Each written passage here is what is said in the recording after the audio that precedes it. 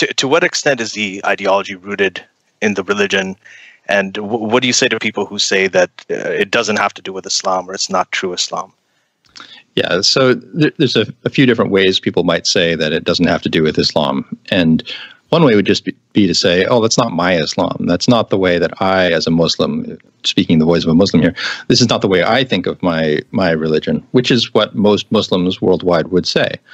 And I have no problem with that. If, if a Muslim wants to say that ISIS does not represent what, what he or she believes its religion says, then okay, that's fine. I, it's not for me to, to, to argue.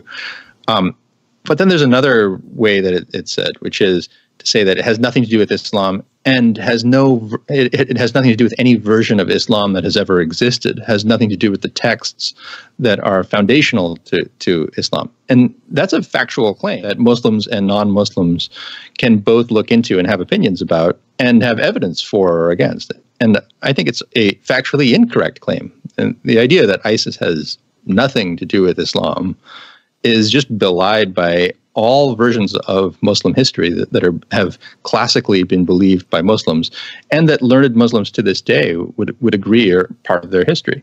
So, what a shock that, yeah, when ISIS comes along and then tries to revive what it thinks of as, true Islam and then looks back to those sources, they're going to find exactly those practices of late antiquity, which of course, were shared by Christians and, and pretty much everyone else. Secular Jihadists is an increasingly influential podcast with much of its growing audience in Muslim majority countries, advocating for atheists, secularists, and Enlightenment thinkers. We want to reach out to more people.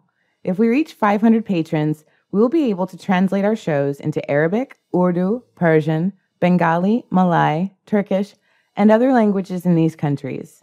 Help us get there at patreon.com slash SJME.